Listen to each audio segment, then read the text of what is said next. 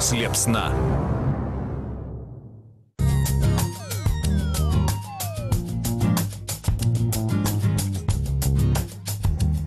Sveiki gyvi, kur buvus, kur nebuvus Lietuvos Liepsnos komanda atvyko į Uteną ir čia taip romantiškai tarp antelių valteliai įsitaisę.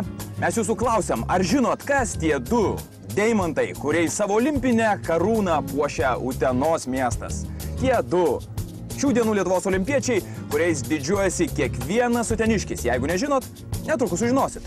Sveiki gyvi, gražiai degė uteniškiai ir utenos svečiai. Ir čia į Uteną atvykom tam, kad sėkmingų olimpinių startų palinkėtumėm Simonai Krupetskaitei ir Jonui Valančiūnui. Ir dabar simboliškai Lietuvos liepsnos deglą įteikiam Utenos rajono merui Alvydui Katinui. Labadiena, mėly uteniškiai, Lietuvos liepsnos nešėjai. Na, pagal tai, ką tik pranešė, kad patvirtintas 60 e, olimpiečių sąrašas iš 63 sportininkų, iš Utenos yra du - Simona ir Jonas. Vadinasi, esam labai sportiškas miestas. Simona Kurpetskaitė - tituluočiausia Lietuvos dviratininkė, pasaulio dviračių treko čempionė, planetos rekordininkė 2009 ir 2010 metų Lietuvos metų sportininkas. Simonos titulų sąrašą būtų galima tęsti, tačiau tai užtruktų pernelyg ilgai. O į sportą Simona atėjo kaip ir dauguma Lietuvos olimpiečių. Ja mokykloje pastebėjo ir pakvietė treneris. Pirmasis Simonos treneris Alvydas Surgautas nebuvo godus. Supratęs, kad preke Simona gali pasiekti daugiau, jis perspektyvę auklėtinę perleido kitam. Aš apie, apie tą, sakykime, apie treką tai didelio supratimo neturėjau ir, ir dabar nelabai turiu. Dirbu, dirbu daugiau su plentu. Ir kadangi Simona, nu, plentų ne, neipatingai, neipatingai, sakykime, taip tiko, tuo metu treneris Ekimavičius e, rinkosi treko komandą, būtent, nu, ir aš jam pasiūliau tą mergaitę, jis mielai priėmė ir, ir palengva, palengva taip ir gavosi.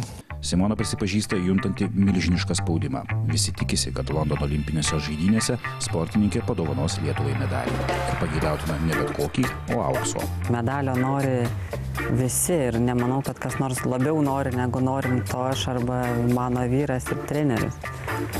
Ir aišku, važiuojam į olimpiadą su pačiu didžiausiu tikslu, tai aišku, stovėti ant piedestalo, bet, bet visada yra bet ir, ir aš galiu pasakyti tik tai, kad mes treneriams tikrai daug ir atidavėm be galo daug tiek darbo, tiek entuzijazmo, meilės, laisvadienių, polsio. Tai yra mūsų gyvenimo stilius ir galiu pasakyti tik tai, kad nuvažiuosiu ir jeigu aš nestovėsiu ant piedestalo, tai nebus mano gyvenimo pabaiga, nes aš supratau, kad aš padariau viską ir kad daugiau tikrai nebegaliu padaryti. O jeigu stovėsiu ant piedestalo, tai tiesiog bus padėka už visą tai, ką mes padarėm ir ką, ką, ką atidavėm. Labai klysta tie, kurie mano, kad dviračių treke sportininkai turi tik kiek įmanoma greičiau minti pedalus. Simona sako, kad įvairiausių taktikų ir strategijų šiame sporte yra labai daug. Konkurencinė kova prasideda netgi prieš startą.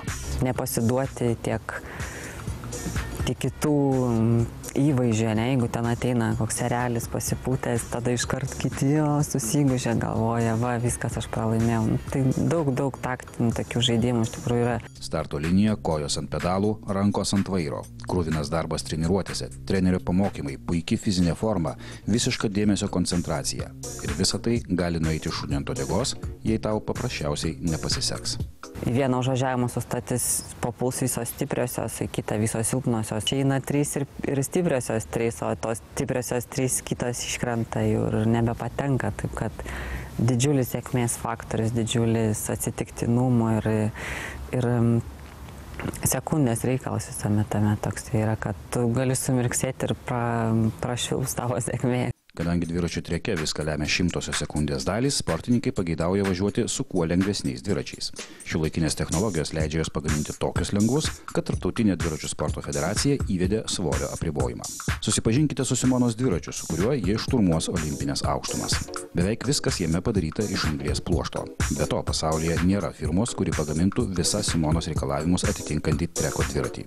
Šio dviračio rėmą pagamino australai, ratus prancūzai, padangos čekiškos, balnelis iš Italijos, grandinė iš Japonijos. Be abejo, visa tai kainuoja ir nemažai. Jeigu tas, su kuriuo aš startuosiu olimpiadą, tai jis kainuoja apie 15-20 tūkstančių eurų. Pilnai sukomplektuotas, be, be atsarginių detalių, be... Dar turi pasimti ir kitą panašų dviratį su savimi, jeigu kažkas vidurk atsitiks, turi pasimti padangas, grandinės, vairus, balnelius ten ir taip toliau ir panašiai. Sportininkai savo trenerius dažnai vadina šeimos nariais. Simonos atveju šią frazę galima naudoti tiesioginę, o ne perkeltinę prasme. Su savo vyru Dmitrijumi jis susipažino Maskvoje, besitreniruodama toje pačioje komandoje. Dabar Dmitrijus Simonos treneris, taip kad pora visada kartu. Bendri ir jų atostogų pomėgiai. Važiuojam su vyru nardyti dažniausiai į Egiptą. Tai turit ten vat, būtent Raudonojo jūroje, ne? Jo, mes į laivą išplaukėm savaitę su laivu, gyvenam laive ir, ir visą savaitę nardam. Dar vienas Simonos hobis niekaip nesusijęs su aktyvia fizinė veikla. Stengiuosi atrasti darbo rankom. Kai rankos dirba, galva ilsisi, sako Simona. Anksčiau labai įsivinėdavau dažnai, ypač išvykus iš, iš namų kažkur į stovyklą, kai, kai nereikia gaminti valgyti, nereikia tvarkytis kambarių, kai tu gyveni viešbutį, turi ten kelias valandas ir reikia kažkur tai padėti savo mintis ir atsitraukti nuo dviračių sporto, tada išsitraukė iš tašės siūvinį, siuvinėdavau. Simona prisipažįsta, kad paauglystėje buvo sunkus vaikas. Apie maištingą jaunystę liudija ir tatuiruotė ant pėties, kur kiniškais hieroglifais užrašyta - gyvenimo kelias. Pasak sportininkės, jos artimiesiems su ja teko nemažai privarkti. Užtat dabar atletė jaučiasi jiems už viską dėkinga.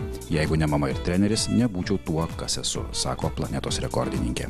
Galima sakyti, kad sportininkė aš esu dėka savo mamos, kuri mane visada palaikė ir, ir dabar palaiko ir, ir visada. Ir, ir jinai buvo vienas iš iniciatorių, kad aš nemeščiau sportą, aišku, tuo vat, periodu, kai buvo sunku su manim, su mano charakteriu kovoja treneris, su motina ir, ir šiaip aplinkiniai saugė žmonės, kurie matė potencialą, kurie suprato, kad aš galiu būti, tai kad didelė dėka yra saugusių protingų žmonių.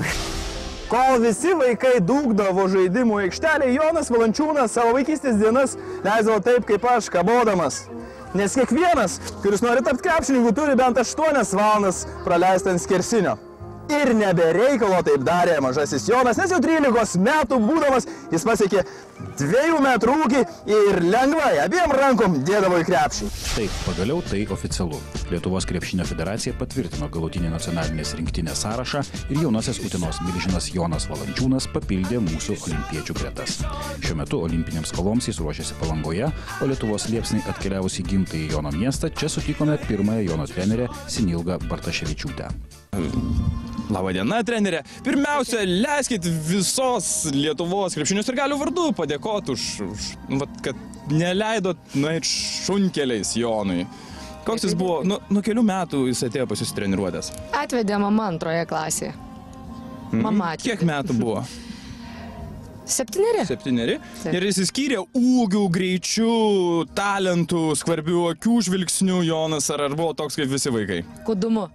Trenerė prisiminė, jog nedaug trūko, kad Jonas būtų pasukęs visai kitų kelių. Į krepšinį jis grįžo bendromis trenerės ir Jono tėvų pastangomis. Tiesiog vienu metu dingo ir dingo kažkur. Mama sako, kad treniruotėse, sakau, jo nėra. Po to išsiaiškinau, kad buvo nuklydęs į slidinėjimą, ten duoda riedučius vasarą, tokius smagius kaip slidės ir jie ten linksminosi, pasirodo porą savaičių. O laidą iš Utenos Jono Valančiūno gimtinės baigsim dėjimų į krepšį ir tą įspūdingą dėjimą atliks mano laidos dubleris Martynas. Prašau, Martynai.